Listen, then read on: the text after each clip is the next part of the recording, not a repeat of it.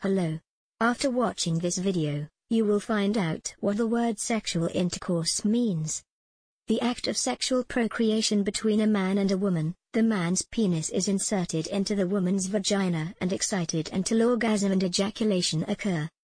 The act of sexual procreation between a man and a woman, the man's penis is inserted into the woman's vagina and excited until orgasm and ejaculation occur the act of sexual procreation between a man and a woman, the man's penis is inserted into the woman's vagina and excited until orgasm and ejaculation occur.